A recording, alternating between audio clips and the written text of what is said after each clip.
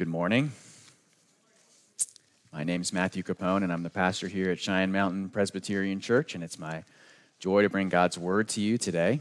A special welcome if you're new or visiting with us. We're glad that you're here, and we're glad that you're here not because we're trying to fill seats, but because we're following Jesus together as one community. And as we follow Jesus together, we become convinced that there's no one so good they don't need God's grace and no one so bad that they can't have it, which is why we come back week after week to hear what God has to say to us in His Word. Uh, as you know, we're taking a break from our series in the book of Judges for several weeks for our Grit and Grace Generosity Initiative. And when you hear those words, Generosity Initiative, of course, you think, well, this is going to be about money. Uh, we are, as a church, as I've said many times, we are about a mission, not about money. We just happen to need money to fuel that mission. And so, what we've been talking about is our mission together as a church. You'll see that mission summarized uh, in the back of your worship guide. And so, we've been going through and talking about the different elements of our mission. We began by talking from Matthew chapter 5 that the church is a city set upon a hill, it's the light of the world. And then we looked in 1 Corinthians uh, chapter 3, and we talked about the fact that we're a gospel hub. We're constantly receiving and sending. Uh, we looked at 1 Corinthians uh, chapter 12. We talked about the fact that we are a thick community. When one rejoices, all rejoice. When one suffers, all suffer. Now, we're continuing doing that very thing this morning. We're going to be talking about robust discipleship. Now, that word, discipleship, gets at this question of what is the mission of the church? What is our task? And more narrow within that, what is our task when it comes to discipleship?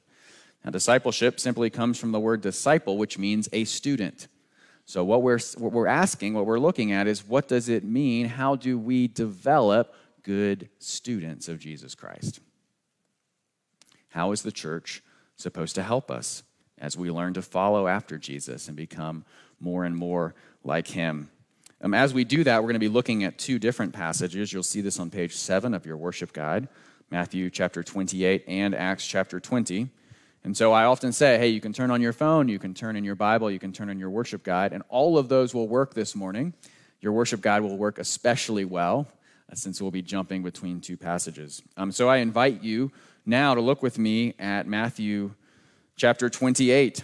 Um, and we remember as we come to this that this is God's word. God tells us that his word is more precious than gold, even the finest gold, and it's sweeter than honey even honey that comes straight from the honeycomb, which is why we read now Matthew chapter 28, starting at verse 18.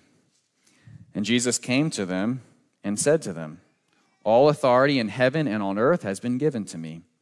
Go therefore and make disciples of all nations, baptizing them in the name of the Father and of the Son and of the Holy Spirit, teaching them to observe all that I have commanded you. And behold, I am with you always to the end of the age. And then Acts chapter 20, starting at verse 24. But I do not account my life of any value, nor as precious to myself, if only I may finish my course in the ministry that I received from the Lord Jesus to testify to the gospel of the grace of God. And now, behold, I know that none of you among whom I have gone about proclaiming the kingdom will see my face again. Therefore, I testify to you this day that I am innocent of the blood of all, for I did not shrink from declaring to you the whole counsel of God. I invite you to pray with me as we come to this portion of God's word. Our Father in heaven, we come and thank you again that you haven't left us alone to figure things out by ourselves, um, but instead you've given us your word, and you haven't given us a little bit of it, you've given us a lot of it. You've given us your whole counsel, everything we need to know um, to walk after you in this life. We ask that you would remind us of that this morning, of your grace in sustaining and directing us, and that you would convict us and move us to follow you more and more. And we ask these things in the mighty name of Jesus Christ. Amen. If you are a student of military history, which I know a few of you are, uh, the date July 2nd, 1863, will stand out to you as an especially important date for the history of military and also the history uh, of our nation. You may recognize that as the, the middle day of three days of the Battle of Gettysburg during our Civil War here in the United States. And that was a decisive battle that ultimately led to the victory of the Union and the defeat of the Confederacy. Not only was it a decisive battle, but there was an important moment in that battle that proved to be decisive. And it was when, if you know, Joshua Chamberlain mounted a defense of a hill, the hill of Little Round Top, and his job was to guard the left flank of the Union. Uh, he did this with the 20th Maine Infantry, and his brigade commander gave him one job he said, Your job and your only job is to hold the left flank. In fact, he said this you must hold the ground at all hazards. In other words, no matter what happens, no matter what casualties you suffer, the left flank of the Union cannot fall. And so Chamberlain sustains six attacks from the Confederates. He realizes after the sixth attack, they do not have the bullets left to sustain another one. And so he decides they are going to do what they have to do, right? At all cost, at all hazard, is what he's been told. And so he tells his soldiers to fix their bayonets. And at the seventh attack, they are going to go on the offensive and charge towards the Confederates. Of course, this has been immortalized in movie history. You know what happens? He leads his men himself and he routs the Confederates and sends them scrambling. It is his faithfulness there in that moment that wins that battle, that battle that sends the Confederates packing back to the South and ultimately leads to the victory of the Union. And then in 1893, 30 years later, Chamberlain receives the Medal of Honor. I tell you this story because it highlights an extremely important element of military doctrine, which is the commander's intent. The commander's intent is when the man who is in charge lays out not the strategy, not the tactics. No, he says, This is what the ultimate result must be. This is the end state. You figure out as things change on the ground, as situations uh, develop, you may have to adapt your strategy and your tactics. You may have to change your approach. No matter what you do, the end state remains the same. Chamberlain knew no matter what, he must hold the ground at all hazards. And so he did it, right? He adapted. He tried first with bullets for six attacks. He ran out of those. He had to adapt. He changed to bayonets. The brilliance of the commander's intent is it does not describe the road, it only describes the destination. And so it's up to those on the ground, right, to figure out what are we going to do in the moment to achieve the end state. Uh, one man says this, describing the commander's intent. The commander's intent is another way of describing the clear purpose and desired end state of a mission. This statement is usually brief and exceedingly clear. Some have compared Jesus' words in Matthew 28 that we just read as his commander's intent for the church. Notice that Jesus here does not uh, lay out any sort of strategy or tactics. He does not tell the disciples how exactly they are going to accomplish this mission. No, instead, he just describes the end state. What is the end state? These folks are going to be baptized and they are going to observe everything that I have commanded you. In fact, it fits the description that I just gave you of an end state. It is brief and exceedingly clear. In other words, Jesus has not left us to wonder about the commander's intent. Jesus has not left us to question what it is we're supposed to be doing as a church. No, he has outlined the end state as clearly as he could. What is the church to do at all costs? Well, we're told here First, the church, this is Matthew chapter 28, verse 19, the church is to go. And what is the church supposed to do when it goes? Well, it breaks into two broad categories. The church is meant to do evangelism and discipleship.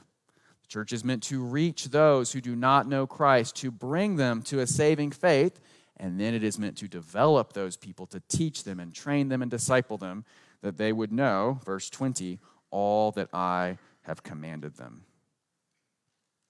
And so I asked you earlier, what is our mission? What is it we're supposed to do when it comes to discipleship as a church, when it comes to raising up followers of Jesus Christ? Well, it's spelled out for us here. We are not left to wonder. Verse 19 and 20 Make disciples of all nations, baptizing them in the name of the Father and of the Son and of the Holy Spirit, teaching them to observe all that I have commanded you. Notice what it doesn't say. It doesn't say, teaching them all the things that you happen to be interested in right now. It doesn't say teaching them only the things that are nice and happy and encouraging. It doesn't say teaching them only the things that are especially controversial and offensive. It doesn't say teach them here and there as you feel like it. No, the commander's intent is explicit and broad. Everything I have commanded you.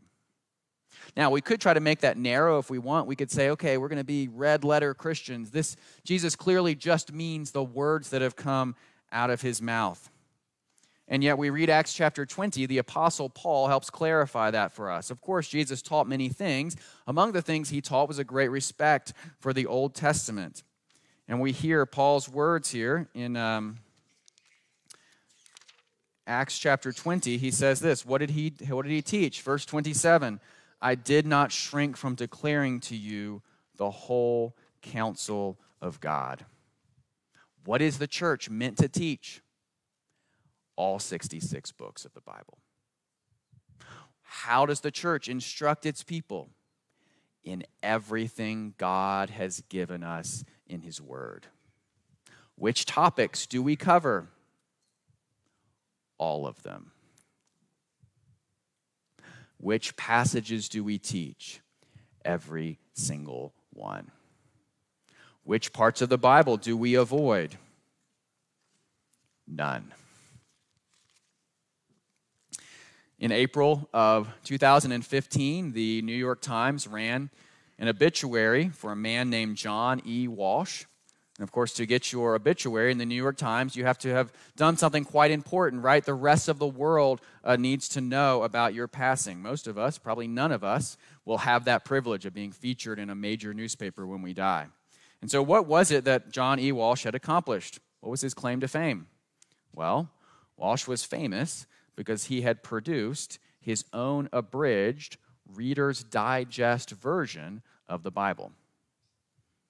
He went through and decided what was important and what was unimportant. He ended up cutting the Bible by a full 40%.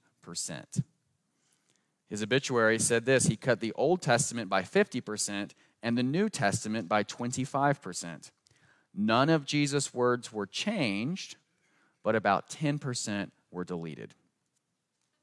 Mr. Walsh says he was initially appalled by the notion of tinkering with Scripture where the book of Revelation warned against changing the words of the book of this prophecy. But Mr. Metzger, that's someone who was helping him, concluded that the warning really amounted to an ancient copyright notice. And so he decided 40% of the Bible was unnecessary, 10% of Jesus' words could be done away with. Of course, there's a bigger issue than simply cutting words and abridging, right? It is the issue of, well, what about those that 10% of what Jesus had to say. It doesn't fit into Matthew 28, verse 20, all that I commanded you. Jesus doesn't say, teach them 90%. If you cover 80% of the textbook, you can get credit for the course. No, Jesus says, teach them all that I commanded you. Why? Why is the Reader's Digest version of Scripture not enough? Why are 90%, why is 90% of Jesus' words not going to get us where we need to go? Why does he tell us everything I've commanded you? Well, Paul again helps us understand this. Acts chapter 20, verse 26, he says, I testify to you this day that I am innocent of the blood of all. Why is he innocent of everyone's blood? Verse 27 because I told, taught you the whole counsel. Paul's getting at a basic principle of life here that there are some things that certain people are obligated to share. And if we do not share those things, we can be legitimately accused of negligence. So imagine for a second that I'm in the middle of preaching and a deacon comes up to me and whispers in my ear that, you know, the back of our church building is on fire right now. And I say, Thank you for sharing that with me. That is an interesting piece of information. And then I keep preaching. What might you say? Matthew had blood on his hands, right? There was something he was supposed to share. There was information he was obligated to distribute, and he didn't. What do we say when someone in government does something negligent and people are hurt? We say they have blood on their hands. Paul is saying here, I must share with you. Not some of what God's word says. No, I must share all of it. That's how critical and important it is. Um, part of the reason I'm passionate about this, not just because it's in the Bible, uh, but also because growing up, as I lived in the church, there were plenty of things that we did not talk about. Uh, I heard about tithing and giving to the church only at home. I heard about the Christian sexual ethic almost exclusively at home. And sometimes I wonder where I would be in this life if I had only learned about God's word in church. Because I don't think I received the whole counsel of God. In other words, we need God's advice and counsel and commands. We need His wisdom for every element of our lives. We need it for our financial lives. We need it for our relational lives. We need it as we think about how to plan and execute the tasks that God has given us. We need it when we think about being children and being parents. We need it as we think about families and careers and vocations. We need it as we address the challenges of our mental health. These things, Paul is saying, are a matter of life and death. And it is the job of God's leaders of the church to lay out not some of what God has taught us, to lay out all of what God has given us in His Word. We are not simply or just or merely speaking about matters of salvation. We are not just talking about heaven and hell. Paul doesn't say, I taught you about salvation, therefore there's no blood on my hands. No, Paul says, I taught you everything. I laid out God's will for every element of your life. I taught what was comforting and I taught what was challenging. I taught what was easy and I taught what was hard. I taught you what you already knew and I taught you what you didn't know. As you walk in life, you can never come back to me, Paul, and said, I say I made this mistake because you never told me. No, he said, I taught you everything. I laid out God's word from beginning to end.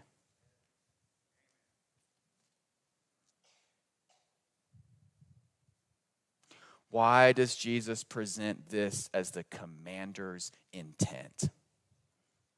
Because the scriptures are the way to life. Not just part of them, all of them. We don't need its guidance in one area, but not another area. We need it for everything. That's why I remind you guys over and over of what we're here in the Psalms that the Bible is a lamp to our feet and a light to our path. We need it in every single way. And so that explains uh, some of our tactics here at Cheyenne Mountain. Remember, I said the commander's intent does not lay out the path, it just outlines the destination. And so it's left to each church to figure out how are we going to accomplish what our commander has given us. There's a variety of things we do. There's a reason that we alternate in the books we preach between the Old Testament and the New Testament. Remember, we were in the Gospel of Mark before, uh, now we're in Judges. Why? We weren't going to do another New Testament book until we'd return to the Old Testament because we want to teach the whole counsel of God. Why is it that when we pick a book, we don't skip chapters? We preach it from beginning to end, no matter how boring or exciting it might be. Because it would be tempting for us in our human hearts to say, well, these are the portions that really matter, and these are the ones we can take away. Hey, there's actually that chapter that's, that's weird and disturbing, and it would be much simpler for us to skip it. No, we discipline ourselves. We say, whether we want to teach this or not, we are going to do every portion of the book. So that we can have what is easy and what is hard, what is challenging and what is comforting. We can have things our culture might agree with us on and things our culture strongly disagrees with. We hold ourselves accountable to learn everything God has for us in His Word. Why do we outline our adult Sunday school in the way that we do? Why do we outline our children's Sunday school in the way that we do? Our children's Sunday school is set up to go from the beginning of the Bible to the end. If you're in our program from beginning to end, you will receive the whole counsel of God. What do we do with our adult Sunday school? We're trying to set it up so that we're consistent in covering different types of issues and topics, different portions of Scripture, so that we have the whole counsel of God. Why is our worship guide set up in the way that it is? So that we would know not just what we do, but why we do it. And so that's why we say, as a church, we are about robust discipleship. We don't want to teach a few things, we want to teach all things. We want to be able to say what Paul said here innocent of the blood of all, for I declare to you the whole counsel of God. Our vision as a church is that our members would be equipped for all of life. Our vision is that as our members go to other parts of the country and the world, they will have received teaching from not just the Old Testament, but the New Testament. They will not just be taught in one area of life, but in another. We will not ignore what's going on in the world around us, but we will talk about the things that are controversial and hard. We want to be faithful in executing the commander's intent. We want to use whatever strategy we have to at the moment to reach the end state that Jesus has outlined for us. We want at the end of the age to hear Jesus' words Well done, good and faithful servant. And so that's why our vision includes not just joyful worship, not just gospel hub, not just thick community, but robust discipleship. That has been and is and will be a priority of our church. You'll notice uh, in the back of your worship guide, we have our image that goes along with robust discipleship, and it's the image of the grapes. On page 13, it says this under the grape image discipleship begins by being connected together to the vine. This is an allusion to Jesus' words in John chapter 15, where he says, Abide in me, and I will abide in you. What does Jesus go on to say? He goes on to say, Apart from me, you can do nothing. And so, our goal as a church is not that we would simply be an educational center. It's not that we would be great in, in putting out information that you are downloading. No, our goal is that we would be connected to Jesus by his word. And that as we're connected, we would grow more and more. As we're connected, we would see all of God's purposes for all of our life. And as we grow, of course, growing in the vine, we're talking about growing to maturity in Christ. We are also growing as a church numerically. As I've said, I think every Sunday now, there are many things that we disagree about in this church. One thing we don't disagree about is that this community is getting larger and larger. As this community grows, it is more and more challenging for us to achieve robust discipleship with the resources that we have. And so, this is another reason that we are moving forward in mission together with the goal of bringing on a second full time pastor. We want someone who's going to come and help us continue to achieve the commander's intent. I've told you all before, there's going to be basically two elements to this individual's job. We want someone who's going to help us lead us in outreach and evangelism. We also want someone who's going to lead us in discipleship, that we're going to go deeper together as a community. Much of that's going to happen in our small groups. That's why we've talked about having five to seven new small groups by 2026. We also want to have a more detailed and intentional discipleship plan. We want to have a map that says, okay, when someone comes to Cheyenne Mountain, what are all the ways that we're developing and the discipling them over two to four years? Are they receiving the whole counsel of God? What are the strategies and tactics that we need to adopt to get there? And so that's why, again, we're inviting you all and challenging you to join us on this journey as we aim to raise $800,000. The goal of that $800,000 is to pay down our mortgage payment and free up, pay down our mortgage balance and free up the 8000 nearly 8000 a month we pay towards our mortgage right now. We want to take that money, we want to release it and free it towards ministry. We want it to be part of us being a faithful embassy here in southwest Colorado Springs. And doing this takes a lot of work. Uh, Colossians chapter 1 is another passage that talks about robust discipleship.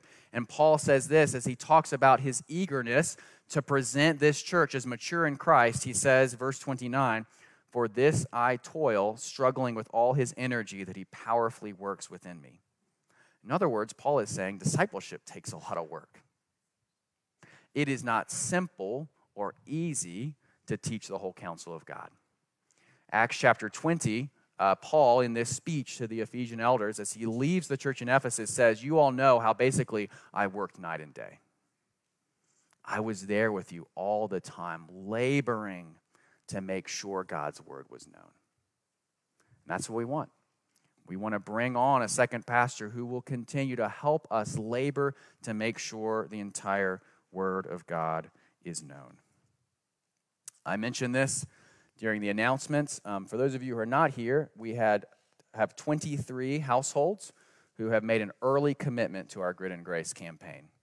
Those 23 households have pledged $314,600.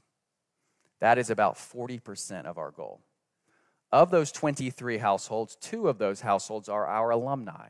They are not currently connected to our church, which means only 21 households in our church have made a commitment. We have over 100 households.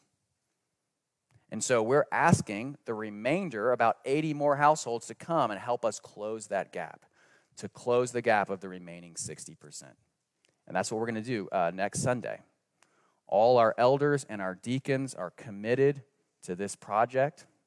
We're asking that you all would join us so that we can continue our mission.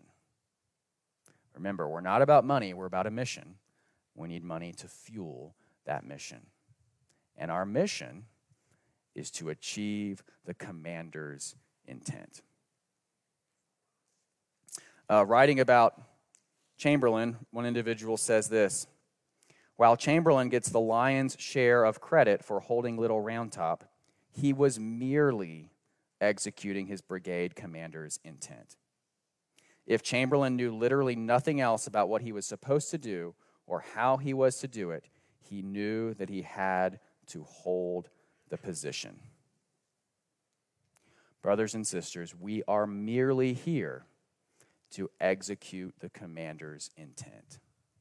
We are here to hold the position.